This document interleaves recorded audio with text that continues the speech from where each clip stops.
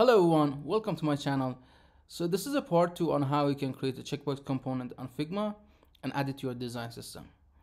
Okay, let's go right ahead and create it. So uh, in the last part we created this one. Now we're gonna create the checkbox item with the different variants. So right now, since I have my checkbox icon, what I'm gonna do is just go ahead and find it in the assets, look for checkbox,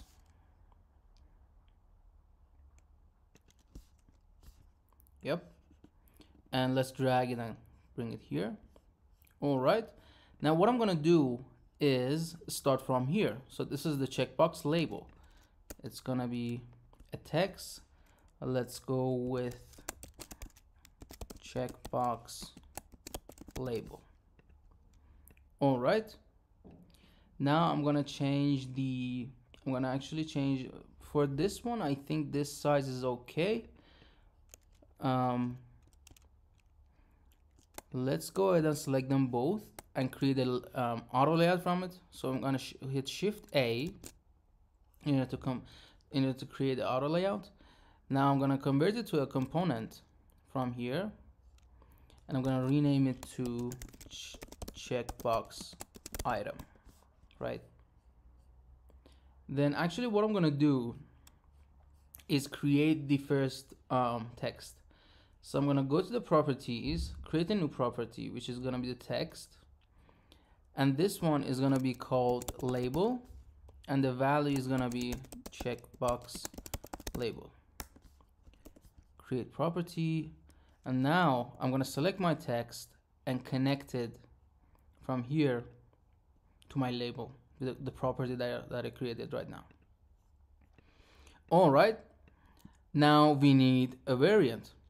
So first of all, we need a boolean variant so uh, we can actually turn on and turn off uh, the hint. Hint is a text that goes underneath here. So what I'm going to do right now is going to be create a variant. The name is going to be hint or description. You can name it whatever. And what I'm gonna do is increase the size of this a little bit. And right now the, the hint for this is false. And I'm gonna duplicate this and add a text that's gonna be true. This one is gonna be the value here is gonna be true. What I'm gonna do is create a text. For example hint goes here. I'm gonna decrease its size to maybe 12 by the way make sure to uh, add colors to these ones. Colors from the design system. So it's going to be text. And for the for the text when uh, text was when it's not selected it's going to be body. The same here. Body text. All right. Uh, but this one is gonna be um, subtitle and then what I'm going to do, I'm going to cut this one and paste it inside of here. And as you can see, since this auto layout is only one frame and um, the layout orientation is um, horizontal, uh, what I'm going to do is actually select these these two texts and I'm going to create another auto layout out of these. So I'm going to hit shift A again and now what I'm going to do is basically change the orientation to vertical layout. Right. And before going and style it, let's change the change the spacing, the gap here to our one of our variables. So if it's gonna be 12, I have the 12 in my spacings and it's gonna be 12, like so. Then let's go ahead and space this this one. The here I'm gonna apply four maybe yeah something like that or two let's see. You just need to see if it matches. Yeah that that's okay. All right now we have let's also connect this to a to um to a text property. So uh, when we are using it it's gonna be easier. So let's go ahead and create it. Hint. Text. The value is gonna be hint goes here. Create property. I'm gonna select this one and connect it to our hint text. All right now we have created these two successfully actually these three. And let's go ahead and create the selected one. Again I'm gonna increase the size here a little bit because our this one is gonna be a little bit uh, bigger than usual. So I'm gonna select these before doing so. Let's create our variant yet let's not forget that. It's gonna be selected. It's gonna be false by default. And then what I'm gonna do is actually duplicating it to here. Yep. And I'm gonna call it true. The value is true. And I'm gonna select these and hit selected. All right. I'm gonna also change the the, the the color of this to a darker shade. So it means that it's selected. Just a you know slight change. And maybe we can bump up the yeah we can bump up the weight a little bit. So let's go with subtitle. Oh that's too much. Yeah that's too much. Yeah this is okay. I'm, I'm okay with it if you want to change it you can but I'm not gonna do it. All right. Now the next one is actually um, we need to figure out the error one right?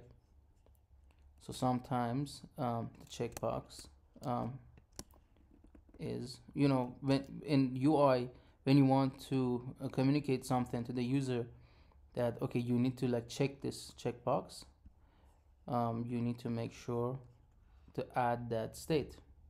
Again another variant it's gonna be error. Value by default is false. What I'm gonna do is select these two and set the value to true. All right now how can I change these to error? So actually what I'm gonna do is well, one of the things that I can do is basically go here and add another property here. Or you can edit it right now right right here from from this component. But I'm gonna make it more consistent. So I'm gonna go here and edit it from here. So I'm gonna create another variant call it error and the value is to be false now I'm going to duplicate these three. Place it here. Sorry. And actually I'm gonna delete um no, I'm not gonna delete these, these. I'm just gonna style them all together. The value is gonna be true. And then what I'm gonna do is or yeah let's just delete them. I just need this one so this is gonna be the error one. And um, the value is gonna be actually the style. The border is gonna get changed to our error. Error and it's gonna be default subtle like so. All right now what I'm gonna do here for the error ones I'm gonna select these ones and just hit error there you go. And I'm gonna change the hint text to um let's go to text. I'm gonna change it to link label just to make sure. All right that's it.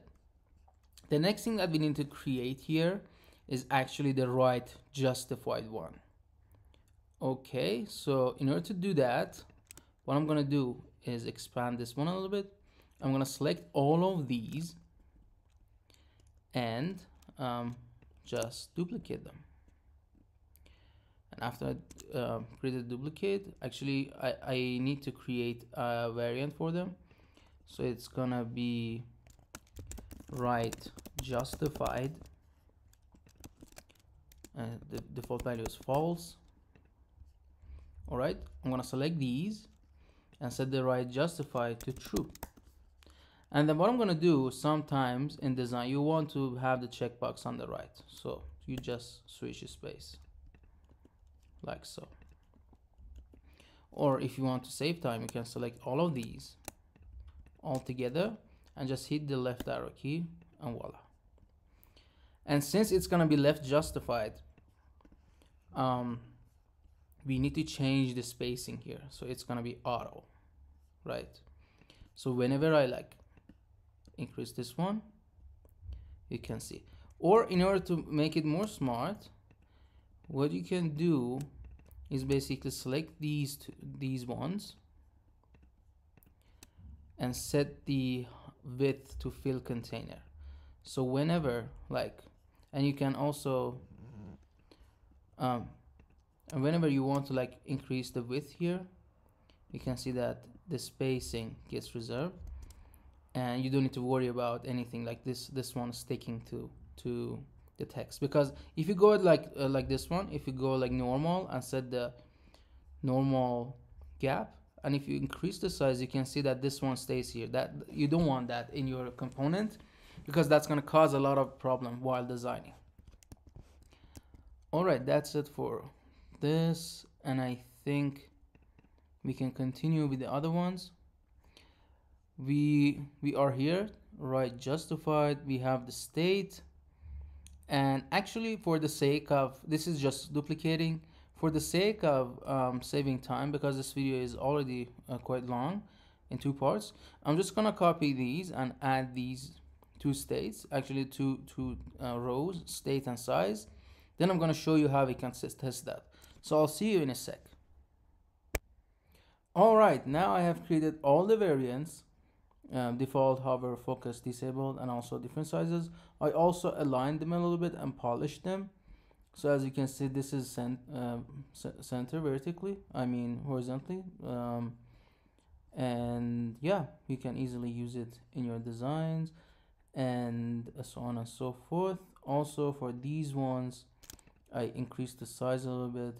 Also I did the I made sure that the selected one is a little bit thicker uh, in terms of font weight. And that's that. Uh, what else? Yeah. I, I think that's basically it for the checkbox. Let's go ahead and test them. So it's on, on my assets it's gonna be checkbox item. So I'm gonna search for checkbox item. And then it shows up.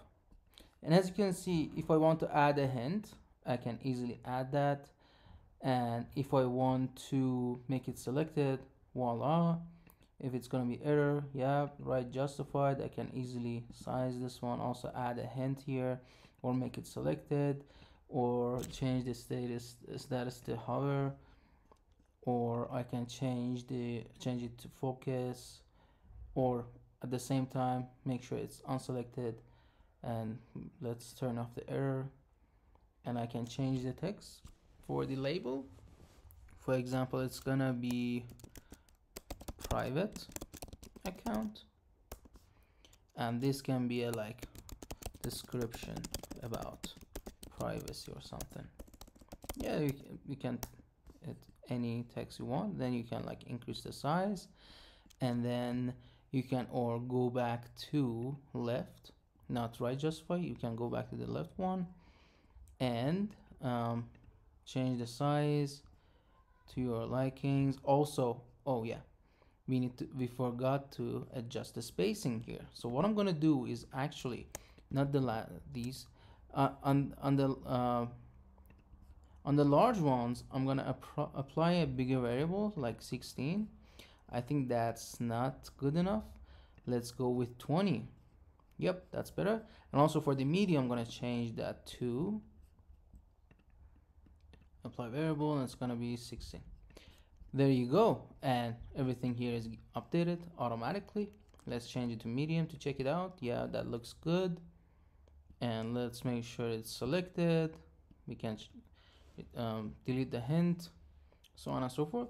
So yeah this is this was the video on how you can create a complete checkbox component and add it to your design system.